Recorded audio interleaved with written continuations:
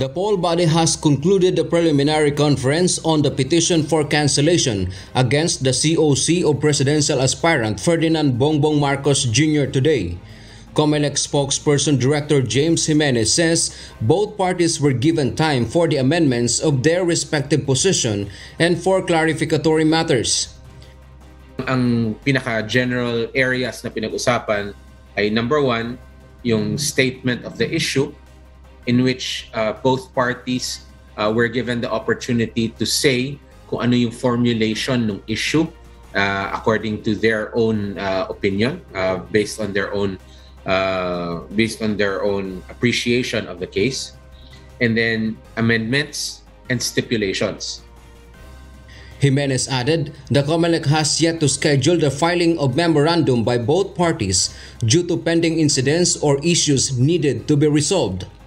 These are the petition for intervention filed by the group of attorney Howard Calleja and the motion for the conduct of face-to-face oral arguments by the Marcoses camp. After the incidents are resolved, then the COMELEC will say uh, how long uh, it will give the parties to submit their respective memoranda. However, the case may be ruled before the release of the final list of candidates in the 2022 elections in December 15, 2021. Meanwhile, some progressive groups flocked to the COMELEC this morning before the preliminary conference started. They urged the poll body to resolve the pending cases against the former senator immediately. Marcos should also not be allowed to participate in the upcoming polls for allegedly being a convict. Uh, nandito kami ngayon sa harapan ng Commission on Election para ipanawagan sa COMELEC na i-resolve na yung uh, motion for early resolution ng uh, pinail naming petition for disqualification noong November 18. Even Imelda Marcos convicted eh. Seven counts.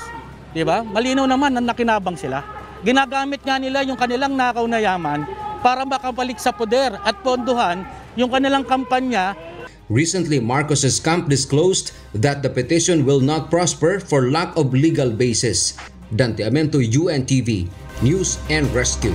We serve the people. We give glory to God.